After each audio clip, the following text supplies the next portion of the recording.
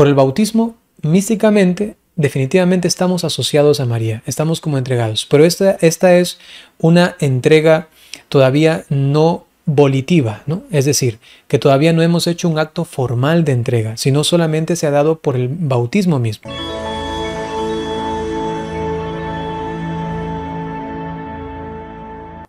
Dice, Padre, ¿es grave no consagrarse a la Virgen María aunque hago el rosario?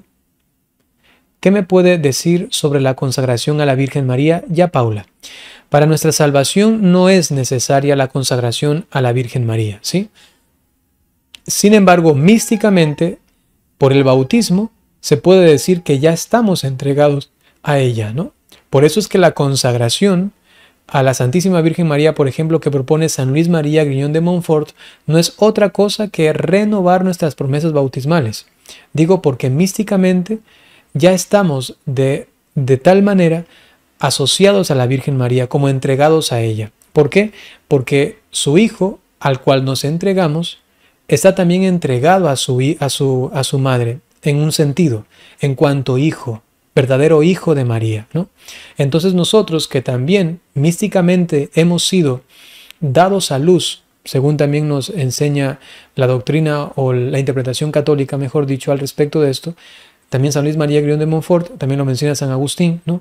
de que nosotros de alguna manera también hemos nacido cuando la Virgen dio a luz al Hijo, porque es la cabeza del cuerpo místico, también nosotros, aun cuando todavía no nos entregaba a María como madre, místicamente se puede decir que nosotros ya de alguna manera también estábamos allí prefigurados, presentes, ¿no?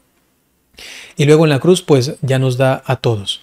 Entonces el mandato de Jesucristo es que todos recibamos a nuestra madre en nuestra casa, en lo más íntimo de nuestro corazón. Con lo cual, por el bautismo, místicamente definitivamente estamos asociados a María, estamos como entregados, pero esta, esta es una entrega todavía no volitiva, ¿no? Es decir, que todavía no hemos hecho un acto formal de entrega, sino solamente se ha dado por el bautismo mismo. Con lo cual, para hacerlo luego volitivamente, por la voluntad, por la decisión, por la deliberación personal, que es a lo que usted se refiere, entonces sí hay que hacerlo cuando uno tiene uso de razón normalmente.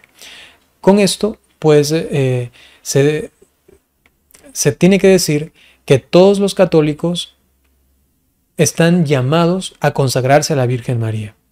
Repito, sin embargo, no es una necesidad absoluta para nuestra salvación. Sin embargo, repito, es un consejo y es recomendable que se lo haga.